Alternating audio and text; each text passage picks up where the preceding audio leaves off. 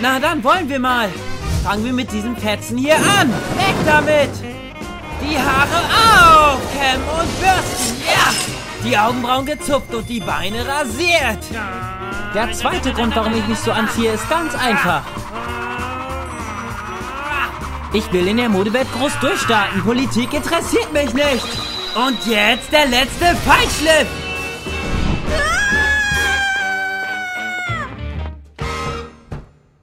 Kuranoske, bist du etwa immer noch da drin? Unser Onkel ist schon fast weg. Zieh dich doch mal eben um und...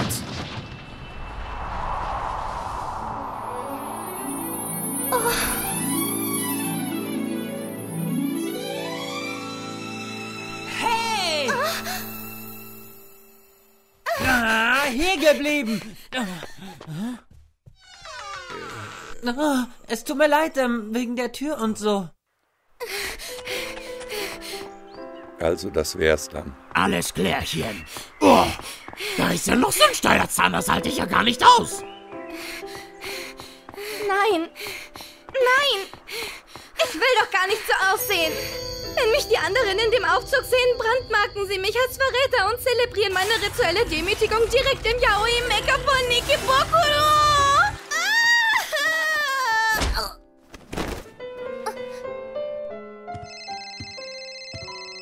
Ja? Kuranoske, kannst du mal eben rüberkommen? Meine Klamotten und mein Make-up gehen echt gar nicht. Ah, nee, lass mal. Heute nicht. Was? Kann sein, dass ihr mir einfach nicht mehr genug seid, verstehst du? Hä? Nun ja, ich habe herausgefunden, dass es noch mehr Spaß macht, den Diamanten zu schleifen, wenn er noch roh ist. Und was heißt das jetzt? Und damit, Mutter, ist es an der Zeit, mein Können auf die Probe zu stellen. Ich wette, sogar die ollen Schreckschrauben aus Otakuhausen wollen gerne hübsch aussehen, wenn sie ehrlich sind. Schließlich sind sie alle geborene Prinzessinnen. Ich habe mich geirrt, Mutter. Er ist auf keinen Fall eine Prinzessin. Er ist ein böses Magiermädchen mit falschen Brüsten. Warum tut er gerade mir sowas an? Wenn ich ehrlich bin, glaube ich, tut er das nur, um mich zu ärgern. Gut, es ist niemand zu sehen.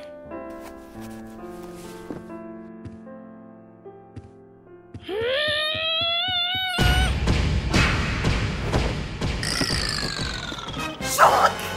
Was ist denn nur passiert, Banma?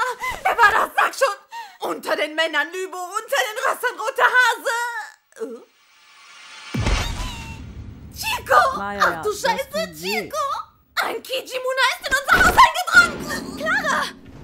Was soll denn das Geschrei? Tsukimi, wie sieht denn dein Gesicht aus? Du siehst aus wie ein chinesischer Sprungvampir. Das ist Pulver. Dann gehört dieser Fummel zum Kostüm, oder wie? Blutsaugen! Oh, Blutsaugen! Chico! Blutsaugen! Komm, meine Halsstange bloß nicht Blutsaugen! Hörst du mir Blutsaugen! Vielleicht kommst du nicht Blutsaugen! Aua, aua, aua! Blutsaugen! Blutsaugen! Ja, ja, du trampelst auf Bandas Haaren herum. Schwein gehabt. Die Brille. Irgendwo muss noch eine alte sein. Na also, da ist sie ja. Mal sehen. Äh, Ein. Ein Zombie. Ah, Tsukimi hat ihre Brille und ihre ganzen Klamotten hier liegen lassen. Hä? Kuranoske, also, ich hätte da eine Frage. Ähm, wegen vorhin, da... Ähm, naja... Was sagst du zur Erhöhung der Umsatzsteuer? Blödsinn. Ja, nee, dann nicht. Kuranoske, Was ist denn? woher kennst du denn das Mädchen? Äh, Ich meine, diese Frau.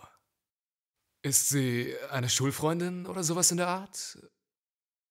Ja, sie gefällt dir.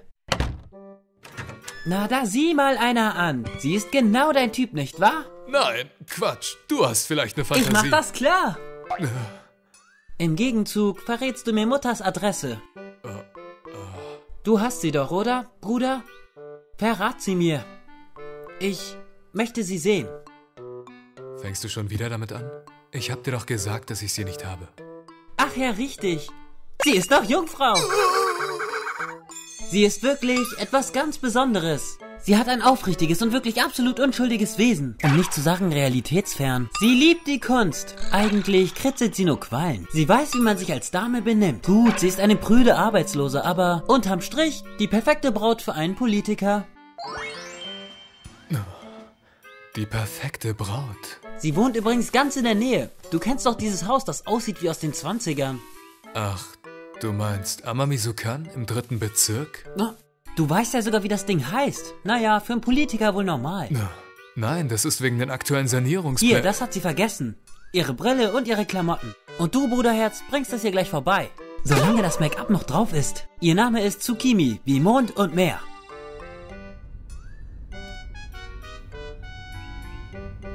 Tsukimi. Tsukimi. Da wären wir.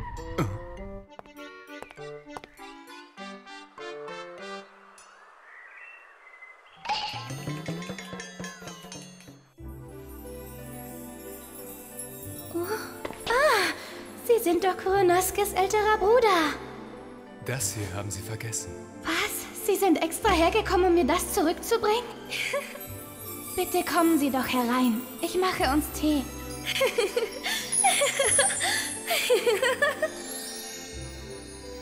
Ich hatte schon gehofft, dass wir einmal die Gelegenheit hätten, uns so zu unterhalten.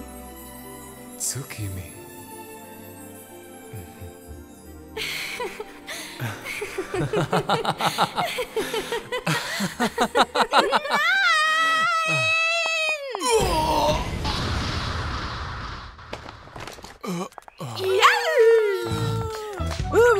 Böser Geist, weiche von ihr! Das ist doch sein Bruder. Moment. Bin ich nicht vorhin an ihm vorbeigerannt? Was macht er denn hier? Äh, Sie sind extra hierher gekommen, um das zurückzubringen? Äh, danke, äh, vielen Dank. Ähm, das ist für eine Dame namens Tsukimi. Sie sollte hier eigentlich wohnen. Ja, das ist richtig. Also vielen lieben Dank nochmal. Mädels, ich hab uns einen leckeren Dokudami-Tee gemacht. Dokunami, Dokunami, der macht müde Mädchen munter. Und dazu gibt's noch eine Kleinigkeit, die im Restaurantführer auf Platz 1 steht. Schöne Grünteerouladen. Rouladen, Rouladen, Grünteerouladen. Leckerchen, Leckerchen, Leckerchen.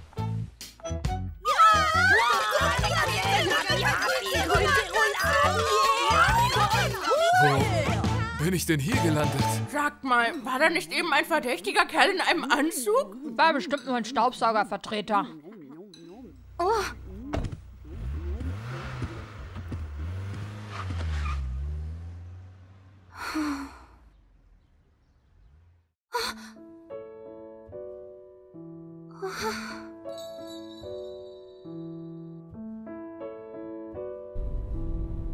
Ah, das gibt's doch nicht. Wir sollten den Schuppen schnellstmöglich abreißen. Die Sanierung ist überfällig.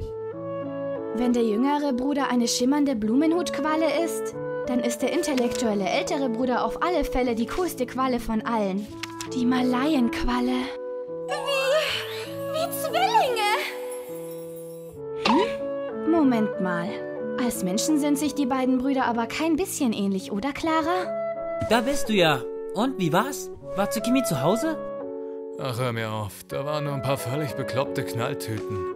Hä? War da so ein Mädchen mit geflochtenen Zöpfen und einer Brille? Ja, die hatte den größten Hau weg. Verdammt, er war zu spät. Hä? Ach, wegen vorhin. Wenn du Lina noch mal sehen könntest, was würdest du denn dann machen?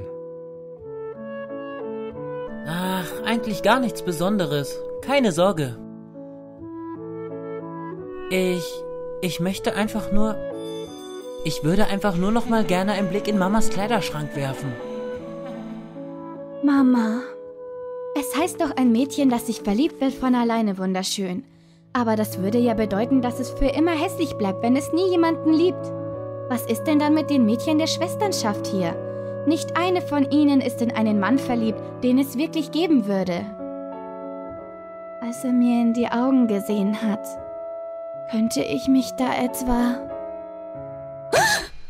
Oh, du blöde Kuh, ich hab's gewusst, du hast kein Make-up-Entferner benutzt. Ich glaube, es Warum geht müssen los. das Mädchen eigentlich hübsch sein? Ich will nicht hübsch sein. Das kommt mir gar nicht in die Tüte.